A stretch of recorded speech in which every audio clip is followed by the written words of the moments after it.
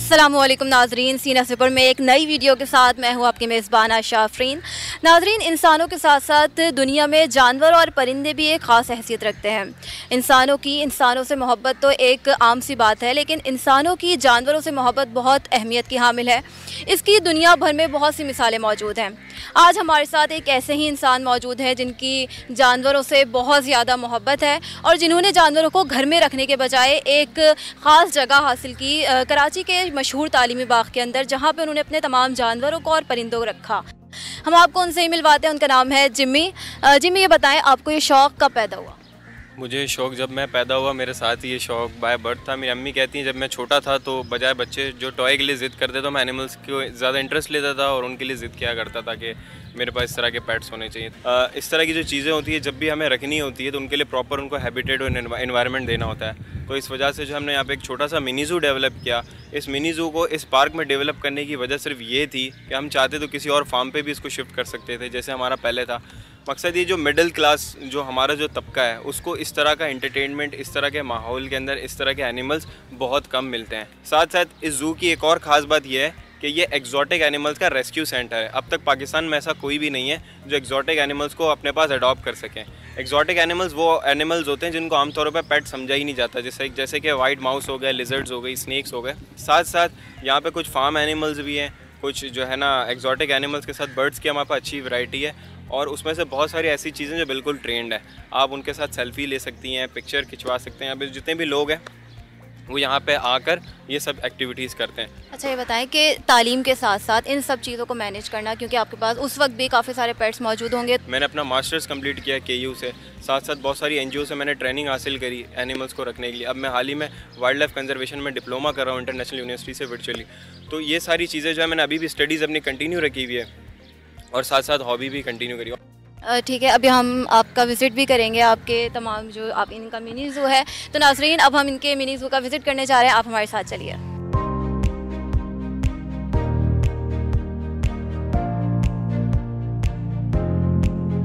नाजरीन, इस वक्त हम मौजूद हैं यहाँ मिनी ज़ू में, जिम्मी का जो मिनी ज़ू है, यहाँ पर बहुत सारे हम यहाँ पर परिंदे भी देख रहे हैं, हम यहाँ पे जानवर भी बहुत सारे देख रहे हैं, हम आपकी मुलाकात भी करवाते हैं आइए। सबसे पहले इसके बारे में बताएँ। ये ब्लू फ्रंट अमेजोन पैरेट है। दुनिया के जो नंबर वन टॉकिंग पैरट्स हैं ये वो ये वो होते हैं जिनके नाम पे आपने देखा होगा बहुत सारी Guinness book of world record के अंदर रिकॉर्ड्स हैं टॉकिंग पैरट के तो वो ज़्यादातर इनके पास हैं। कहा यह जाता है कि जो ग्रे पैरट्स होते हैं उनकी मेमोरी सबसे ज़्यादा है। मेमोरी देखें बहुत सारे पैरट्स की बहुत अच्छी होती है। अगर आप इसको उससे कंपेयर करें इसको उसको कंपेयर करें तो किसी न किसी मामले में ये उससे ऊपर है किसी न किसी मामले में वो उससे ऊपर के मामले में कौन ऊपर है? के मामले में मेरे हिसाब से तो ये ऊपर है। उसका रीज़न ये है कि मैंने उसको बहुत ज़्यादा बोलते हुए देखा है। हेलो एक और पैरट इस वक्त हमारे साथ मौजूद है। इसके बारे में जानते हैं कि अमूमन तो इसको ग्रे पैरट कहा जाता है लेकिन ये क्या इसकी खसूसियत है क्या खाता है क्या पीता है और किस तरह से रहता है ये मजीद हम जानते हैं। इसके बारे में बताएँ। अच्छा ये अफ्रीकन ग्रे पैरट है जिसका मैं आपको ज़िक्र कर रहा था कि ये वो पैरट है जो डिप्रेशन में चला गया था देन अब ये रिकवर हो रहा है। तो आप इसका अगर चेस्ट के बालों पर देखेंगी तो वो बहुत ज़्यादा उखड़े हुए और इसने अपने आपको ज़ख्म किया हुआ तो काफ़ी हद तक हमारे पास एटी परसेंट रिकवर हो चुका है। कितना टाइम लगा इसको रिकवर इसको मेरे पास तकरीबन चार महीने हो चुके हैं और अभी छः महीने और लगेंगे। ये कुछ बोलता है? बहुत बातें करते हैं मगर अभी जब से आप आई हैं ना ये दोनों हमारे जो पैरेट है ना ये शाये हुए हैं। लेकिन जब हम यहाँ का पूरा टूर कर रहे होंगे ना उस दौरान आप पीछे से बैकग्राउंड नॉइज़ में सुन लीजिएगा कि कितना बातें करते हैं। नाजरीन एक और पैरेट इस वक्त हमारे साथ मौजूद है और बहुत शरारती है। इसके बारे में भी पूछते हैं। इसके बारे में बताएँ इसको क्या कहते हैं और ये इसकी क्या खसूसियत है? ये जो है ब्लू गोल्ड मकाओ है वैसे इसका नाम हमने जय रखा है। एक साल पहले हमारे पास इस तरह के चार पैरट्स हैं तो हमने उनका नाम रखा था जय वीरू गब्बर ठाकुर। तो इसमें से जय हमारे पास रह गया तो ये बहुत ही ज़्यादा चुलबुला है बहुत ज़्यादा शरारती और ये इन्जॉय करता है। ये नज़र आ रहा है चुलबुला। इसको अब आपका माइक में इंटरेस्ट आ गया अब कह रहा है माइक दे दो। और ये बिल्ली कबू की आवाज़ है बहुत ज़्यादा कॉपी करता है बोलता रहता है ये। और ये मूडी है बहुत। डांस करता है बच्चों को देख के लोगों को देख के। म्यूज़िक पे डांस अभी देखें ये देखें देखिए इसका डांस शुरू हो चुका है। इसी तरीके से ये जब करते हैं ना तो बड़े इनकी क्यूटनेस ही है। ये काटता है। बहुत ज़ोर से काटता है अगर काटे तो ये अखरोट अपने गुस्से में कब आता है? गुस्से में आप थोड़ी देर और रखें जब इसके मूड के हिसाब से आप नहीं चलेंगे गुस्से में आ जाएगा तो इसके मूड क्या होता है? माइक मांग रहा है आपने थोड़ी देर तक माइक नहीं दिया तो फिर गुस्से में तो फिर हम इसको उतार देते हैं। भेजेंगे चला जाएगा।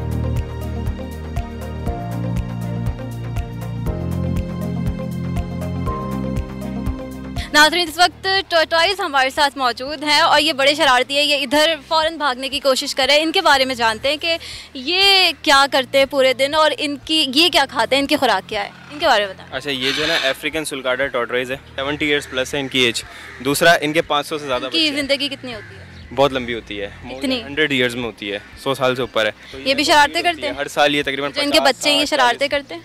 ये घूमते फिरते रहते हैं ये देखें ये एक जगह एक जगह नहीं सारा दिन ये खाते हैं मोर देन सिक्स के जी इनकी मील है एक कछुए की ये बड़े वाले की। क्या खाते हैं? फ्रूट्स वेजिटेबल ग्रास बच्चे जैसे पैदा हो जाते हैं ये इसी कंडीशन में होते हैं और ये दो तीन दिन में अपनी फ़ीड लेना स्टार्ट करते देते हैं खुद ही खाने लग जाते हैं। बाय बर्थ ये बड़े स्ट्रॉन्ग होते हैं और नाजरीन, अब हम बड़े खूबसूरत परिंदों के दरमियान में मौजूद हैं और अब हम ये पूछते हैं कि यहाँ पे मुख्तलिफ़ तरह के परिंदे हमें नज़र आ रहे हैं तो इनमें कौन कौन से किस्म के परिंदे इस वक्त यहाँ पर मौजूद हैं? ये ये हमारी वाटर बर्ड्स एवेरी है, इसका ना अच्छा से इनको पाउंड बना के दिया हुआ है। जितने भी पानी में रहने पानी करीब रहने वाले जो परिंदे होते हैं, हम इनको यहाँ पे रखते हैं। अब हमारे जू की सबसे बड़ी स्पेशलिटी यही है, आप कह सकती हैं कि हम केजेस के अंदर लोगों को एंट्री देते हैं प्रॉपर प्रिकॉशंस के साथ। और लोग आते हैं, इनको यहाँ पे फ़ीड कराते हैं तो इस तरीके से जो एक्सपीरियंस है तो इनको क्या कहा जाता है? फ्लेमिंगोज हैं और जो वो रेड में जो इनके इनके रेड से परे हैं फ्लेमिंगोज हैं बट ये थोड़ा एज के छोटे हैं वो बड़े हो चुके अच्छा ये बहुत सारे इस वक्त यहाँ पे परिंदे हैं मुख्तलिफ़ तरह के। तो ये एक दूसरे को नुकसान नहीं पहुँचाते कुछ छोटे हैं कुछ बड़े हैं हैं? मैंने आपको बताया ना हमने हर केज के हिसाब से उनको सेट किया है। तो इस केज के अंदर वही एनिमल्स हैं जो एक साथ रह सकते हैं।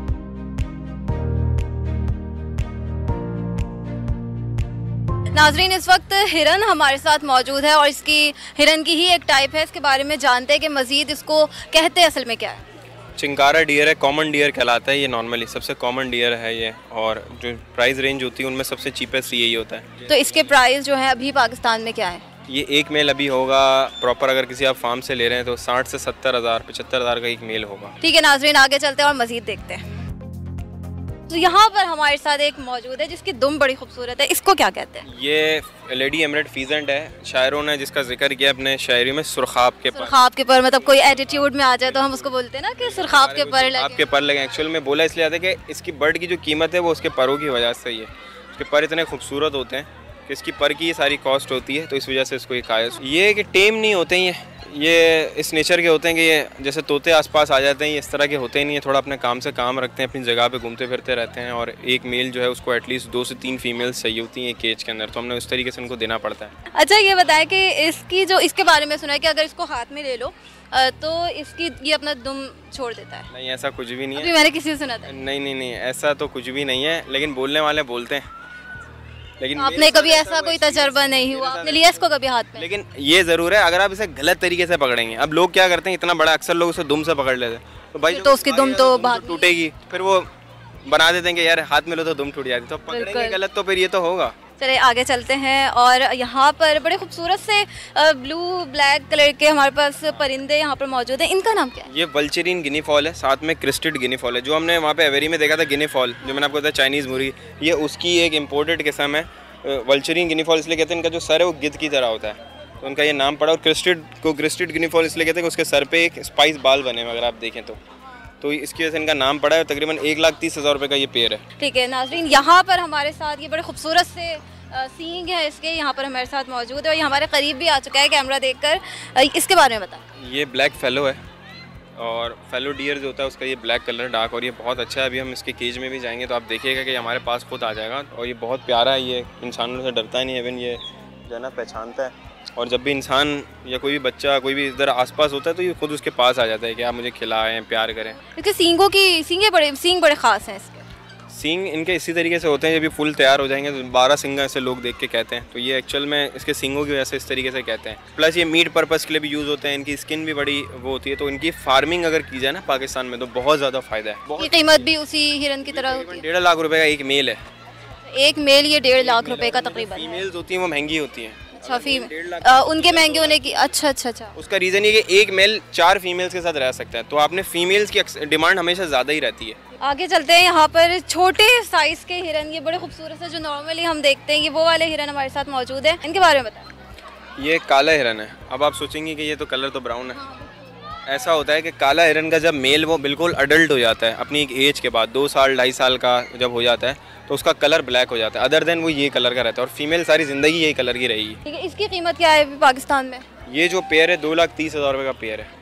अगर कोई रखना चाहे घर पे तो वो इसके लिए भी किसी लाइसेंस की ज़रूरत आपका अगर जू है कोई बड़ा फार्म है तो गवर्नमेंट जो है ना इनकी फ़ार्मिंग की इजाज़त देती है। अगर आपके पास प्रॉपर इसका सेटअप है तो आप इसका लाइसेंस ले सकते हैं और इनकी फ़ार्मिंग भी करा सकते हैं। आइए नाजरीन अब मज़ीद भी हमें बहुत सारी चीज़ें यहाँ पर नज़र आ रही हैं। ब्लैक कलर के बड़े खूबसूरत से यहाँ पे रखे हुए हैं ये। ये क्या है? इसके बारे में बताएँ। अंदर ही चलते हैं आगे। अंदर ही चलते हैं।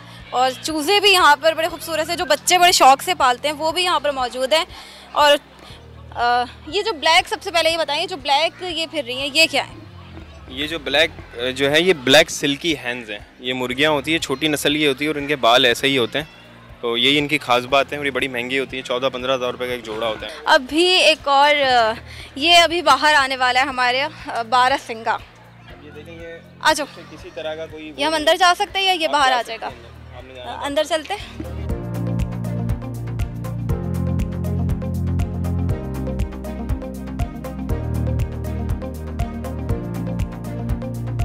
नाजरीन ये बड़ा ख़तरनाक सा हमारे साथ इस वक्त मौजूद है जिसके अंदर हम जा नहीं सकते क्योंकि ये बड़ी ज़ोरदार टक्कर मारता है। इसके बारे में बताएँ कि इसकी ये क्या कहलाता है उसके सींग बड़े खूबसूरत हैं। ये माउंटेन शीप कहलाता है जो नॉर्मल जो भेड़ होती है ये पहाड़ों पे रहने वाली भेड़ होती है। ये बड़ा गुस्से वाला लग रहा है ये। वाला तो है उसके नेचर में ज़्यादा टक्कर मारना ये रोटी बहुत शौक से खाता है तो घर से जो चपातियाँ वगैरह होती हैं हम ले आते हैं और ये इसको बहुत पसंद है और अभी अगर मैं इसको खाना नहीं दूँगा थोड़ी देर में एग्रेसिव हो गई ये। कितनी कितनी देर में इसको चाहिए होता है? ये हम इसको तकरीबन हर छः घंटे में खाना दे रहे होते हैं। तो गुस्सा किस बात पर आता है? इसको सबसे ज़्यादा? वैसे तो ये नॉर्मली गुस्से ये ऐसे ही है बस इनका मीटर कभी भी घूम जाता है ये वाले जानवर हैं। कोई कोई भी बात हो कुछ भी हो किसी बात इसने जाली टक्कर मार मार के आगे कर दी तो ऐसे ही धम धम किसी भी टाइम पे हो किसने किसी को नुकसान पहुँचाया? नहीं नहीं नहीं ऐसे किसी को हिट नहीं करता जाली के ऊपर बस मारता रहता है नाजरीन इस वक्त बड़े खूबसूरत से रैबिट्स मेरे आसपास मौजूद हैं। मुख्तलिफ़ कलर्स के हैं वाइट भी हैं ब्राउन हैं और ये इस वक्त हमारे पास घूम रहे हैं इसके बारे में जानते हैं। ये वाइट वाले जो है और ये ब्लैक फिर आपके पास ब्राउन भी हैं। ये किस कितनी नस्ल के ये इसके ना दो स्पीशीज़ हैं दोनों कॉमन है ये। और इसका ना ये एक जो ब्राउन वाला है ये एंगोरा रैबिट जो होते हैं जिनके थोड़ा सा फर होता है ये उसका क्रॉस है। तो ये शरारतें भी बड़ी करते होंगे आप बहुत ज़्यादा ये सारा दिन भागते दौड़ते रहते हैं। शाम के टाइम पे ज़्यादा एक्टिव हो जाते हैं। दिन में थोड़ी गर्मी होती है तो इधर उधर छुप के बैठे हुए होते हैं।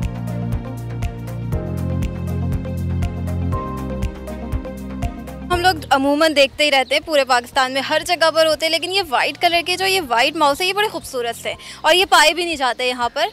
और ये बड़े छोटे से और नॉर्मल ये कितने क्या एज होगी इसकी? ये अभी तकरीबन छः महीने के हैं। अच्छा और कितने बड़े होते हैं ये? ये तो उनकी तो मतलब इसका मैक्सिमम साइज़ है ये। अभी अब फुल साइज़ है। अच्छा चूहों के बारे में ये है कि ये 40 दिन में बच्चे से जवान हो जाते हैं और फिर खुद बच्चे देने के काबिल होते हैं। इतना जल्दी जल्दी ग्रो करते रहते हैं। इनका सर्वाइवल रेट बहुत अच्छा है, बहुत ज़्यादा ये जो है ना, मज़बूत सकजान होते हैं चूहे। जब हमने यहाँ पे रखे हुए लोग हमारे पास आते हैं और हमें ये कहते हैं, यार, चूहे कोई पालने वाली चीज़ है। तो मैंने उनको फिर समझाना पड़ता है कि देखिए एक्जॉटिक एनिमल है। हम इसे पेट नहीं मानते, दुनिया भर में ये पेट है। स्टूअर्ट लिटिल मूवी आप देखें, अगर बचपन में देखी हो, जैसे मैंने देखी, मैं बड़ा इंस्पायर्ड हुआ मुझे उसी से ये पसंद है ये हमारे, हमें छोटे स्नैक्स नज़र आ रहे हैं। तीन तरह के ये स्नैक्स हैं या ये दोनों एक जैसे ये दो एक ही स्पीशीज़ हैं ये अलग है। अच्छा ये तीनों जो है ये कराची के इलाकों से अलग अलग इलाकों से रेस्क्यू किए गए रेड हेडेड रेड स्नेक इसका सर देखें रेड है और ये रेड स्नेक ये चूहे खाने वाला सांप है। तो लोग जहरीला समझते हैं और उसको मार देते हैं जबकि सांप ये जहरीला नहीं होता। नहीं हर कुल इसके अंदर जहर नहीं होता। जहर नहीं होता इसके अंदर। अच्छा ये इस वक्त ये क्या चीज़ है? यूरोमेस्टिक लिजर्ड है स्पाइनी टेल लिजर्ड भी कहा जाता है उर्दू में आम अल्फाजों में सांडा। अब इसको इसका ये मसला है कि इसकी बहुत ज़्यादा हंटिंग हो रही है। इसको ऑयल के अंदर और डिफरेंट चीज़ों के अंदर यूज़ किया जाता है और उसके बारे में बहुत ज़्यादा मिसकनसप्शंस भी हैं जिसकी वजह से इसकी बहुत ज़्यादा इलीगल हंटिंग है। ये भी तो हमने ये पाकिस्तान में पाई नहीं जाती? बहुत हैं ये पाकिस्तान में। कहाँ क्यों कौन से इलाके हैं? सिंध में हमारे जी कराची से आप बाहर निकलेंगी नूरियाबाद से लेकर हैदराबाद तक जितना भी आपका डेजर्टिक एरिया उन सब में भरे पड़े हैं। खतरनाक होती है? नहीं कुछ भी नहीं है। नॉन नहीं है? मैं आपको निकाल के भी दिखा सकता हूँ।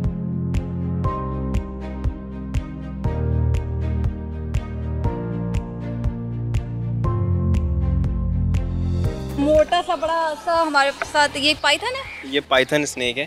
अच्छा। ये इस वक्त जो है ना इसने फ़ीड किया हुआ है तो उसको हम अभी छेड़ नहीं सकते। क्योंकि जब आप पाइथन अगर फ़ीड कर ले तो आपने से एक से दो दिन तक नहीं छेड़ना। तो क्या खुराक है इनकी? ये रेबिट्स खाते हैं वाइट माउस खाते हैं मुर्गियाँ खाते हैं डक्स खाते हैं इस तरह की जो चीज़ें होती हैं जैसे नॉर्मल जो हम चिकन खाते हैं हम इन्हें वो पूरा चिकन इनको साबित दे देते हैं। तो अभी आपने इसको क्या दिया? चिकन दिया हुआ हमने तो इसने खा लिया उसके बाद ये बाहर अगर आप इसको लेकर आएँगे छेड़ेंगे तो क्या करेंगे? वॉमिटिंग कर देगा। उसका रीज़न है कि साबित पूरा खाते हैं साबित निकलते हैं। फिर कितने दिन बाद इसको दोबारा देना होता है? ये जैसे ही इसको डाइजेस्ट कर लेगा पूरी तरीके से तो हमें इनकी बॉडी शेप से अंदाज़ा हो जाता है कि इन्होंने डाइजेस्ट कर लिया ठीक है ये नुकसान पहुंचाता है?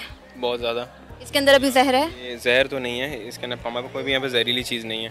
तो ये जो है पाइथन जो है ये नॉन वेनमस स्नेक होता है बट इतनी पावर होती है अगर ये जकड़ ले तो किसी की हड्डियाँ तोड़ सकता है।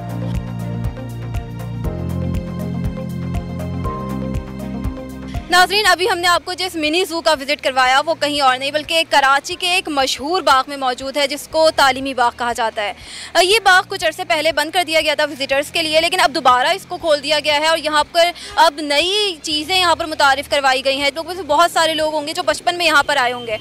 अभी भी अगर आप लोग यहाँ पर आना चाहें तो आप आ सकते हैं। यहाँ पर मिनी जू भी मौजूद है। इसके अलावा एक झील है, जहाँ पर अब बोटिंग भी हो रही है।